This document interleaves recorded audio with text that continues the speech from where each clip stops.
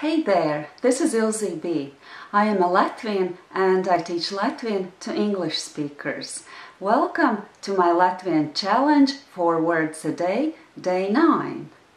I had already planned out how to make this lesson today, but then I received a comment under my yesterday's lesson on my Facebook group Learn Latvian with Ilze Be. That comment was from Adam, and Adam asked if I could include some greeting phrases in my lesson. And at the beginning I thought, well, those greeting phrases, they are all over the internet. But then I gave it some more thought and I thought that there are things that I could teach you that are not enough explained in other places that I have seen where Latvian is taught is taught. So today I'm going to actually teach you about greeting phrases. So bear with me if you think that you know it all, but you might get some information that you didn't know about before. So please stay with me and comment afterwards and tell me how you like this lesson or if there are any specific things that you would like to learn about. But now let's get to the greeting phrases.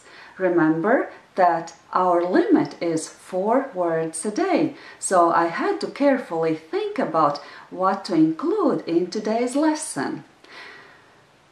Now let's think, how would you greet a person if you spoke English? Well, here in America, when I walk on the street in my neighborhood, people would usually say hi, or even more often, they would just simply start out by saying, How are you? That wouldn't be appropriate in Latvian. So when people ask me how how are you is in Latvian, I am very hesitant to answer that question because I know that it's not appropriate to start out by that question. Latvians take that question literally. They don't take it as a greeting. And they wouldn't normally ask a person who they don't know how they are. They take it as an invasion of their privacy or as if you were entering their personal space without an invitation. So I'm not going to teach you how it is in Latvian, how are you? Because I don't think you need it at this very early stage. You would ask that question to a Latvian after you've known him or her for some time. So what is safe to say to a Latvian? It is very safe to say labdien Labdien, labdien, labdien. This is a word that has derived from two other words. Laba diena. Laba diena means a good day. So what has happened is that the endings of those two words, laba and diena, have been cut off and those words have been glued together and thus we get the word labdien. This word has a fixed form and it will never change its form, unlike an adjective laba or a noun diena. So you can safely say labdien, labdien, labdien. Labdien means good day or have a good day. But you can say this only if it's a day, but not if it's the morning or an evening. But since I have the limit of four words a day, I'm not going to teach you how to say good morning or good evening. Instead, I will tell you about another word that is also misused. And that word is sveiks. By the way, a couple of days ago I received a letter from somebody who addressed me or who greeted me by saying sveiks and it is actually not appropriate to say sveiks to me. And you would wonder why is that? Well, the one thing is that Latvian Latvian language and Latvian people are very gender sensitive. And the word sveiks actually is an adjective. And adjectives change their endings according to whether they would be linked to a masculine noun or a feminine noun. And it also matters whether that noun is in singular or in plural. So the word sveiks is a word with which you can greet a man. But that's not all. If you don't know the man very well, you would still not say sveiks to him because Latvians don't address each other in the singular form. They would start addressing each other in a singular form after some time when they've gotten to know each other. Usually, younger people would not address an older person in a singular form. Usually, that would happen only after that older person would give a permission to switch to the singular form. This tradition is fading though, but still, if you want to be culturally appropriate and on the safe side, you should take this into consideration. And another note to this, it is not only that you wouldn't address an older person in a singular form, you would also not address a person who is of a higher authority or some authority to you anyway. For instance, if I am your teacher of Latvian, you would probably not address me in a singular form right away because I am like an authority in this situation because I am teaching you something. That's what Latvian is like. Anyway, I am not that sensitive as it comes to my Latvian students because I understand that you are only learning Latvian and about Latvian traditions. So if you wanted to greet me in a singular form, how would you do that? Well, you would say sveika, sveika, sveika. That is a gender appropriate form of that word when you are addressing a woman or a girl. Sveika. Now more about this word sveiks or sveika. It is an adjective. Adjective is a describing word, like a red dress. Red would be the adjective. The adjective or describing word that describes a dress.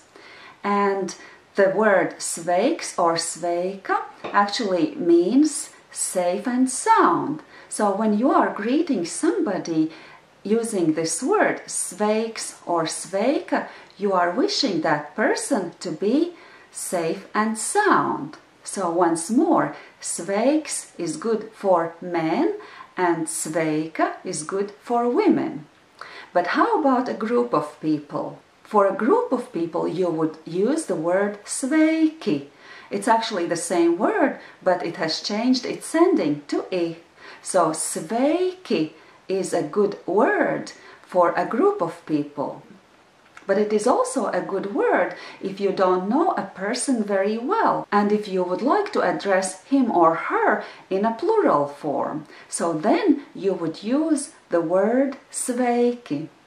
This is something that even American Latvians confuse because they are so used to American culture and they think that they know the language, but they have integrated in the American culture so well that they have lost that cultural awareness of what Latvian culture is. So I guess I'm teaching you something valuable today. So I have used already two words and I have two more words to teach you. Now how to say goodbye. A safe thing to say is uz redzēšanos. Uz redzēšanos. Uz redzēšanos. It's a long word, and since I'm not teaching your sentences today, I will start teaching this word from its end. And the last syllable of the word is nos. Nos. Nos. Nos. there's that letter which actually is a diphthong that I have taught you before, ua. And the final syllable again is noas. The syllable that precedes the syllable noas is sha, sha, sha. And these two syllables together are shanoas, shanoas, shanoas. But the syllable that precedes the syllable sha will be quite difficult for you. And that syllable is ze. The letter combination d and z are pronounced together as if it was one sound, z. And the syllable altogether is ze, ze, ze. The last three syllables together would be dzēšanos, dzēšanos, dzēšanos. And the first syllable of that word is re. Re is quite easy if you know how to pronounce the Latvian r sound. Re, re. So the first two syllables are redze, redze, redze, and the last two syllables are shanos, shanos, shanos. Let's glue them together and get the word. Redzēšanos. The first syllable is stressed because in Latvian, in most cases, the first syllable is stressed. But like, like I taught you before, you can put a small stress on the third syllable if that makes it easier for you. So the word once again is redzēšanos. Redzēšanos. Redzēšanos. Redzēšanos. But there's another word in this phrase, and that word is uz. You have already heard this word, but here this word has another meaning, and that meaning is to. And this phrase literally means to seeing, or to seeing each other, or to me seeing you. That's how I could translate it into Latvian as closely as possible to its meaning. So, once more, the phrase is uz redzēšanos. Uz redzēšanos. The word uz is not stressed. The rhythm would be no, yes, no, no, no. Or no, yes, no, yes, no. With that second yes being slightly less stressed. So once more I will pronounce the phrase uz redzēšanos, uz redzēšanos. And although it means to seeing you again, you can also use this phrase if you write letters. It's also appropriate. This is a formal phrase but how would you say bye or goodbye informally? Well, this will be very simple, very easy, because that word is ata, ata, ata. And here the second syllable is stressed. The second letter a is also long. The first a is short. And the word is ata, ata, ata. This was the first word my older son learned. His first word was not mama or teti, but it was ata.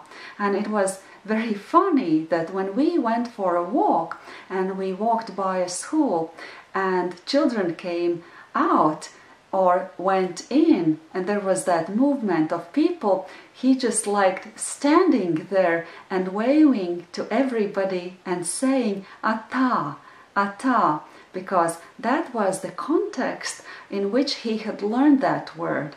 Probably when his grandparents were visiting us and then leaving, they always said ata, and that's the word that he learned first.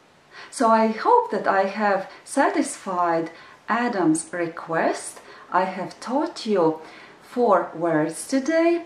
Those words were sveiks, sveika, sveiki, and I treat them as a single word because that's just one word with different endings. Then the next word was labdien, labdien, labdien, and that means good day. If we translate it literally, then the next phrase that I taught you had one new word, and that word was redzēšanos, redzēšanos, and the entire phrase was uz redzēšanos. And finally, there was the word atā, atā, which is informal, bye. So I'm saying bye for now, till tomorrow. Remember to download the summary of this class by clicking the link in the description of the video.